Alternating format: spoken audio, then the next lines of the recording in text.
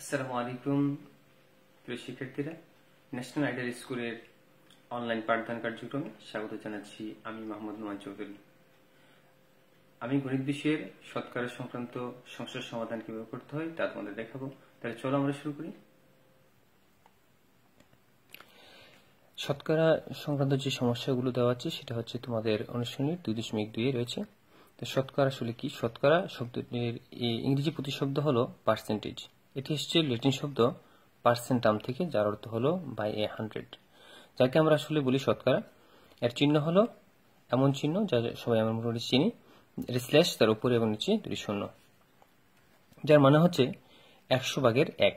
শতকরা মানে হচ্ছে একশো ভাগের এক। এই পার্সেন্টেজের মানে হচ্ছে একশো ভাগের এক। যেমন পাঁচ পার্সেন্ট বলতে আমরা বুঝি একশো ভাগের পাঁচ। পাঁচ পার্সেন্ট বলতে বুঝি একশো ভাগের পাঁচ। মূলত শতকরা হলো অনুপাতের মতো একটি ভগ্নাংশ। তবে শতকরার ক্ষেত্রে ভগ্নাংশের হর সবসময় একশো হবে। অর্থাৎ আগের যে উদাহরণ দিয়েছিলাম, সেটা হচ্ছে পাঁচ পার্সেন্ট অর্থাৎ পাঁচ শতকরা পাঁচ বলতে পাঁচ পার্সেন্ট বা একশো ভাগের পাঁচ। আর অনুপাতে প্রকাশ করলে হয় পাঁচ অনুপাত একশো। এখন আমরা অনুশীলনী দুই দশমিক দুইয়ের পাঁচ নম্বর অঙ্কটি করে দেখব। পাঁচ নম্বর অঙ্কে বলা আছে একটি স্কুলে শিক্ষার্থীর সংখ্যা পাঁচশো জন। অর্থাৎ একটি স্কুলের মোট শিক্ষার্থীর সংখ্যা পাঁচশো জন। এর মধ্যে ছাত্রীর সংখ্যা হচ্ছে চল্লিশ পার্সেন্ট অর্থাৎ একশোতে চল্লিশ জন ছাত্রী আছে। তো ওই স্কুলের ছাত্র সংখ্যা কত? তো এখন দেওয়া আছে কি? দেওয়া আছে আমাদের পাঁচশো জন হচ্ছে মোট শিক্ষার্থী পাঁচশো জন। ছাত্রীর সংখ্যা চল্লিশ পার্সেন্ট এগুলো আমরা উঠিয়ে নিলাম। এখন এই চল্লিশ পার্সেন্ট বলতে বোঝায় একশো জন শিক্ষার্থীর মধ্যে ছাত্রী আছে চল্লিশ জন। আমরা ঐকিকরণ করলে একজনের বের করতে হবে। একজনে কত ছাত্রী আছে? একজন শিক্ষার্থীর মধ্যে ছাত্রী আছে ভাগ হবে। একশো জনের যদি চল্লিশ জন হয়, তাহলে আমরা মনে করি পঞ্চাশের মধ্যে গেলে বিশ, তাহলে এবার কমতে কমতে একের মধ্যে অবশ্যই অনেক কম হবে। সুতরাং একশো ভাগের চল্লিশ জন হবে। তো মোট শিক্ষার্থী ছিল পাঁচশো জন। তাই পাঁচশো জন শিক্ষার্থীর মধ্যে ছাত্রী আছে বেশি। একজন যদি কম হয়, তাহলে পাঁচশো জনে অবশ্যই বেশি হবে। আর বেশি হলে গুণ চল্লিশ গুণ পাঁচশো ভাগ একশো। আমরা একশো একশোতে পাঁচশো কাটা- কাটলে পাঁচ পাঁচ একশো, পাঁচশো। চার পাঁচা বিশ আর শূন্য দুইশো জন। তো এই দুশো জন হচ্ছে কি আমাদের ছাত্রী সংখ্যা। তা আমাদের মোট শিক্ষার্থী হচ্ছে পাঁচশো জন। আমাদের বের করতে হবে ছাত্র সংখ্যা। তাহলে ছাত্র সংখ্যা মোট শিক্ষার্থী থেকে যদি ছাত্র ছাত্রী আমরা বের করে বাদ দিয়ে দিই, তাহলে আমাদের ছাত্র সংখ্যা থাকবে। ছাত্র সংখ্যা পাঁচশো বিয়োগ এই দুশো ছাত্রী বাদ দিলে থাকবে তিনশো জন। উত্তর ছাত্র সংখ্যা হচ্ছে তিনশো জন। অনুরূপভাবে আমরা একই অঙ্ককে আরও দুটি নিয়ম করতে পারি।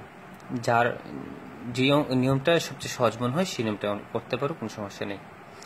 বিকল্প আরও দুটি নিয়ম হচ্ছে যে, যেমন দেওয়া ছিল, মোট শিক্ষার্থী পাঁচশো জন।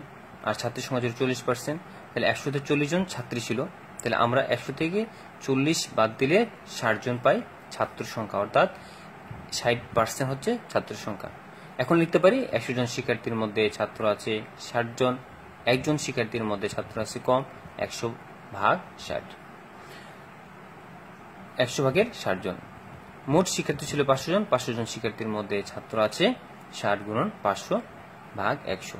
যেহেতু একে কম ছিল, তাহলে পাঁচশোতে অনেক বেশি ছাত্র হবে। সুতরাং ষাট গুণ পাঁচশো ভাগ হচ্ছে একশো।